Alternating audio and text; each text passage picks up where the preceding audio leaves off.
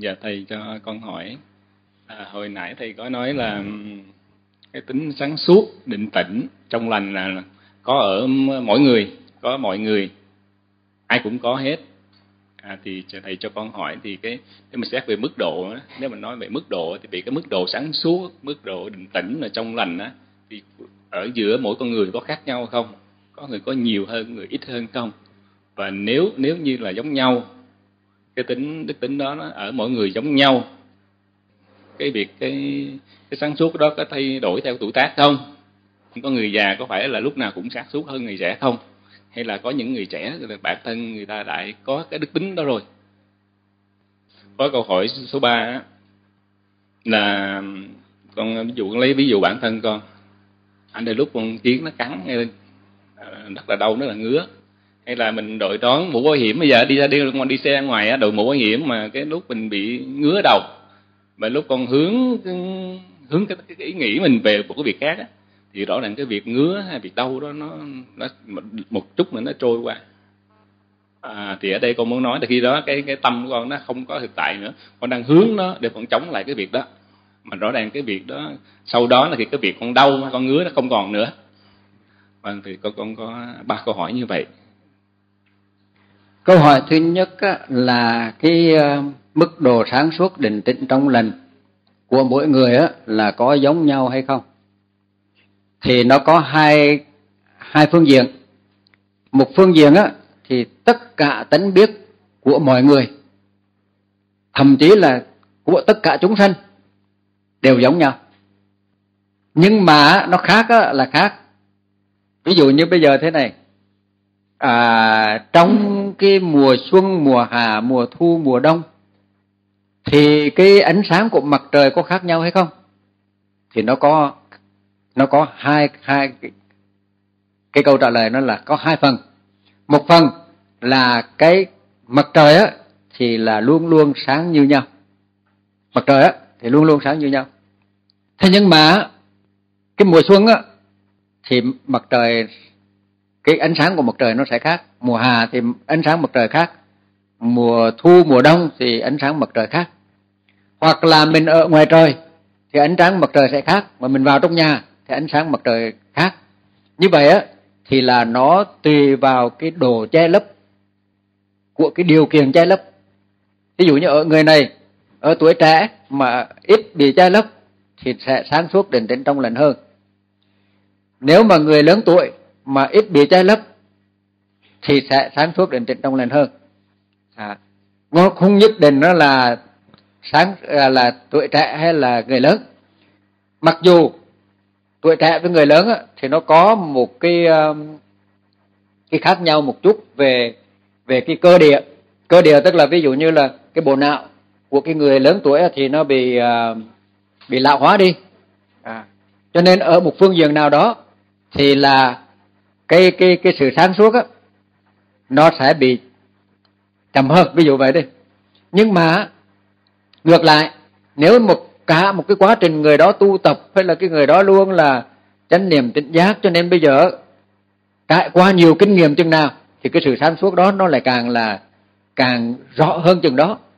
Cho nên trải qua nhiều kinh nghiệm cho nên người đó bây giờ là thấy rất là tự tin. Cái thấy biết nó rất tự tin. À, cho nên người ta mới nói là cái người cái người giàu kinh nghiệm. À, kinh nghiệm tức là cái người đó đã trải qua để mà thấy ra được. À, như vậy thì ở nơi cái người lớn tuổi và cái người trẻ tuổi thì có cái cái ưu điểm khuyết điểm à, khác nhau. Tuy nhiên nếu như một cái người mà giác ngộ thì khi một người giác ngộ đó thì họ sẽ không lệ thuộc vào cái cái cái à, cái điều kiện à, sẽ không lệ thuộc vào điều kiện. Thí dụ như bây giờ một cái vị sư mà giác ngộ rồi nhưng mà già rồi á vì đó vẫn có thể lẫn lẫn đó là đó là đầu óc. Nhưng mà khi cái gì mà đối diện thực á thì vẫn sáng suốt. Khi cái đối diện thực á thì vẫn sáng suốt. Nhưng mà tại vì cái bộ óc nó có thể là bị sao đó cho nên bây giờ là không nhớ cái đó.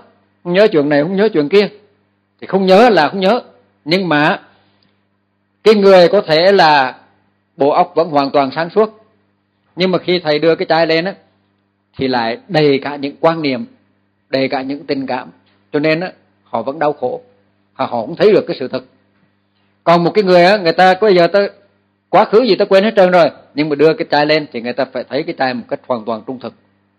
À, tức là cái người mà cái người mà thấy biết mà cái trong sáng đó đó cái trong sáng của tính thấy biết đó đó thì vẫn là như cũ không thay đổi. Nhưng mà cái thay đổi là thay đổi do cái cái, cái, cái điều kiện cái chuỗi cái chung quanh. Cái điều kiện đó có thể là cái điều kiện tinh thần hay là cái điều kiện vật chất. Đó là cái câu thứ nhất. Còn thứ hai là cái gì? Hồi nãy nói thứ hai cái gì? Thứ nhất với thứ ba chứ không, không nghe cái thứ hai. À tức là có thứ hai thứ ba là cũng nói luôn rồi đó. À thứ thứ một thứ hai là nói rồi đó. Còn cái thứ ba là cái gì? À rồi rồi rồi nhớ rồi nhớ rồi cái cái này là nó có hai hai cái khác nhau. Hai cái khác nhau. Thí dụ như mình ngứa.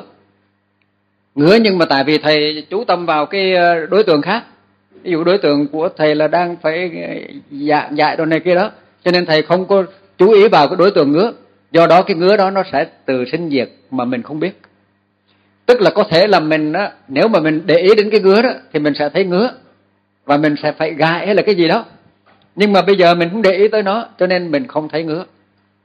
Do đó, nó mới có hai cái cách giải quyết khác nhau. Một cách giải quyết về định, một cách giải quyết về tuệ. Cách giải quyết về định đó là thế này. Tức là nếu mình mình định tâm vào một cái gì đó, thì mình sẽ không, mình sẽ quên những cái khác đi. Tức là mình sẽ không có, giả sử như một người mà cái người đó đang à, đang bị bệnh á đang bị bệnh nhức nhối như vậy đó. Nhưng bây giờ nhập vào thiền định một cái rồi á thì không còn nhức nhối gì nữa cả. À, đại khái như vậy. Tức là một cách á là mình chú tâm vào một cái cái khác. Để cho cái cái kia đó là mình không không cần biết tới nữa. Nhưng mà đó không phải là cách giải quyết. Cái giải quyết đó có thể được nhưng mà giải quyết đó chỉ là giải quyết tạm thời. À, tức là lúc nào cần giải quyết bằng kiểu đó thì vẫn cứ được. Nhưng mà đó không phải là giải quyết thực mà giải quyết thực là thế này. Nếu như mình thấy được cái sự sinh diệt của nó vấn đề không phải làm nó ngứa rồi mình gãi để cho nó hết.